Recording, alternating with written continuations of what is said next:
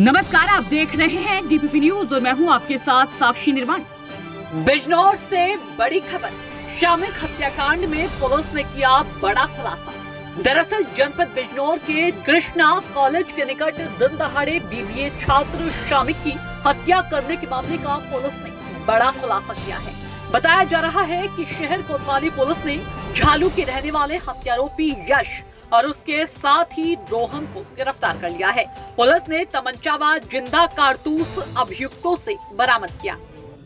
तेईस ग्यारह दो हज़ार बाईस को कृष्णा कॉलेज के गेट पर एक बड़ी सनसनीखेज घटना हुई, जिसमें कि करीब पंद्रह बज चालीस मिनट पर दो अज्ञात मोटरसाइकिल पर बैठे हुए लोगों ने शामिक नामक छात्र की गोली मार के हत्या कर दी।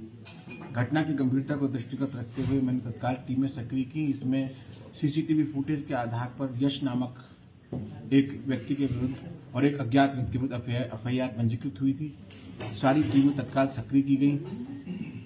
पच्चीस बजे छब्बीस की रात ये दोनों अभियुक्त एक अभियुक्त यश की गिरफ्तारी, उसके साथ दूसरा अभियुक्त रोहन भी गिरफ़्तार हुआ और पूछताछ पर उन्होंने संस्वीकृति करते हुए बताया। इकबालिया बयान देते हुए बताया कि छात्रों के बीच में छात्र छात्राओं के बीच में मृतक के द्वारा अभियुक्त रोहन के साथ कुछ अपमानजनक टिप्पणियाँ की गई थी, जिससे क्षुब्ध होकर के वो जाकर के यश से मिला। यश आपराधिक मनोवृत्ति का व्यक्ति था, छात्र था मतलब छात्र तो नहीं, युवा था। उसके साथ मिलकर के इसने इस घटना की योजना बनाई, षड्यंत्र की पूरा तैयार किया और घटना को अंजाम दिया।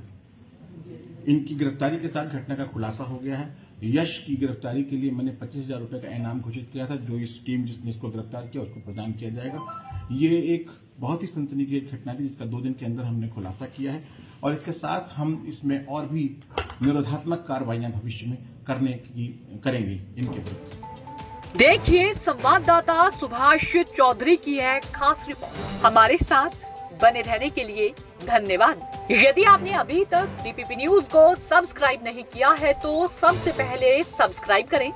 और हाँ लाइक कमेंट व शेयर करना भी ना भूले। नमस्कार।